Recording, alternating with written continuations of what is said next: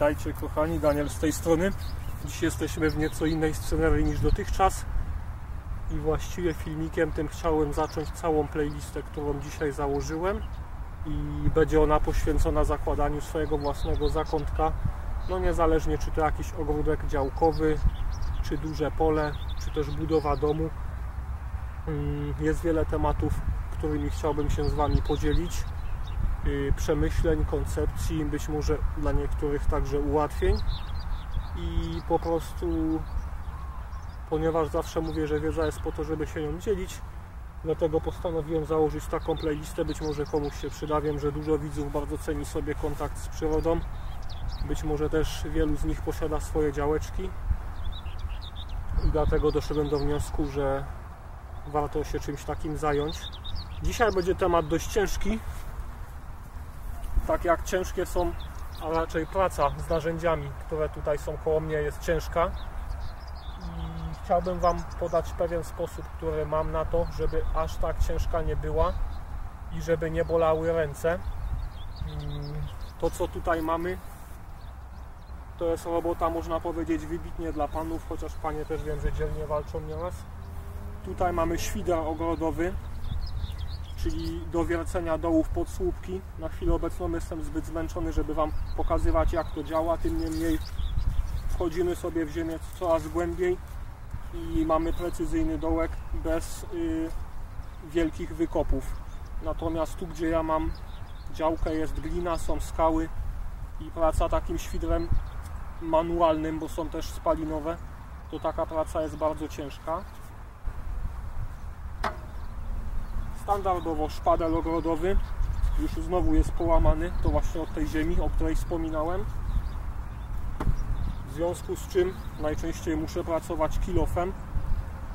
Yy, poza gliną mam też dużo skał, które być może tu widać w taczkach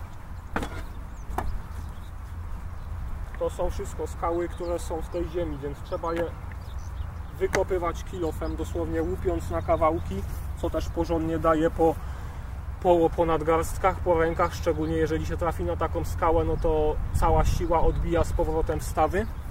No i mam jeszcze ze sobą tutaj, mam jeszcze ze sobą kosę tradycyjną, chociaż nieco zmodyfikowaną. Ja nazywam, że jest to kosa sportowa, bo cała cała ta część, cała ta, nie wiem jak to nazwać, rękojeść, uchwyt jest ze stali. Mam tą kosę już 5 lat. Jedynie mi się ostrze złamało. W ubiegłym roku musiałem wymienić po 5 latach. A w momencie jak miałem drewniane kosy, to łamałem je dosłownie 2-3 razy w sezonie, ponieważ no, nie mam tutaj boiska, a niestety mnóstwo wykopów, takich yy, nieraz niespodziewanych, mrowisk i tak dalej. No i jak raz, drugi, trzeci nie widać tego, a wejdzie się w to ostrzem, no to ten sztyl cały się łamał. W takiej kosie się nie łamie, także jest nieco droższy, bo kosztuje powiedzmy trzy razy tyle co drewniany, ale jest naprawdę na lata i wcale ona nie jest ciężka, a dodatkowo możemy sobie modyfikować tutaj wysokości tych uchwytów w zależności od tego jak ktoś jest wysoki. One są skręcane, także można je przesuwać, bardzo polecam.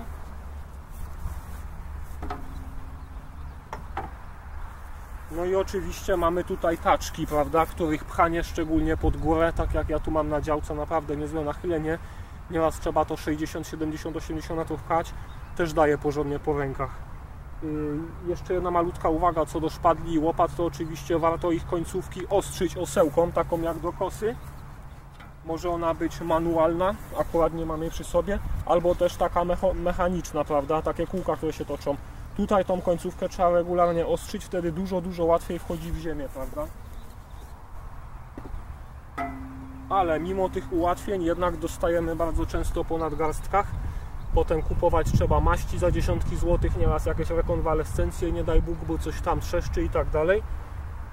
I oczywiście ja stosuję też regular, regularnie olej rycynowy, który jest dobry na stawy. Oczywiście nie piję go, choć można, ale to na przeczyszczenie. Natomiast wsmarowuje go w nadgarstki lekko podgrzany i znakomicie regeneruje mać w torebkach stawowych. Ale moim patentem, którym się chciałem podzielić z Wami na pracę z takimi ciężkimi narzędziami, żeby była mniej uciążliwa, jest coś takiego. Tada! Co to jest? Są to zwykłe ochraniacze, takie jakie są do jazdy na łyżworolkach, na hulajnodze, na deskorolce, na czymkolwiek. I czym one się różnią od tych ochraniaczy takich aptecznych, czy ogólnie sportowych, prawda, czy do jakiejś rekonwalescencji. Tamte są po prostu mm, materiałem dość grubym, z włóknami elastycznymi, są takie bardzo rozciągliwe, natomiast stabilizują bardzo nieznacznie tylko nadgarstek. A te ochraniacze na łyżworolki, one mają w sobie taki oto element stworzywa, który właściwie jest nie do zajechania, nawet się go wygiąć nie da. Jest on anatomicznie wygięty, także całkiem dobrze w niego wchodzi nadgarstek i stabilizuje on cały nadgarstek z dołu. Natomiast jest oczywiście jeszcze jeden taki sam u góry nadgarstka, z tym, że on jest wszyty zupełnie, więc nie jestem w stanie go wyjąć, który także dodatkowo stabilizuje nadgarstek i w momencie, jeżeli mamy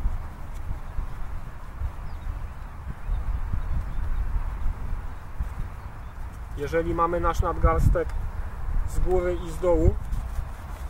Zapięty na rzepy bardzo mocno. O tak. To powiem Wam, że ja w takich ochraniaczach jestem w stanie wiele więcej pracy wykonać. Nie wiem czy dwukrotnie, czy trzykrotnie więcej, ale naprawdę dużo więcej. I co najważniejsze nadgarstki mnie potem nie bolą.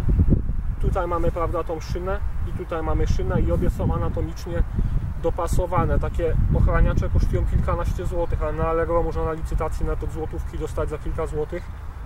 Ale powiem Wam, że ich atut jest po prostu naprawdę niezwykły. Mm, czy to do pchania taczek, czy do pracy właśnie szpadlem, czy kilofem, czy zwiertnicą, czy do przenoszenia nawet jakichś stempli budowlanych, których mamy 150 sztuk na przykład przerzucić jednak te nadgarstki to potem czuję. Jeżeli ktoś na co dzień na działce musi wykonywać dużo ciężkich prac,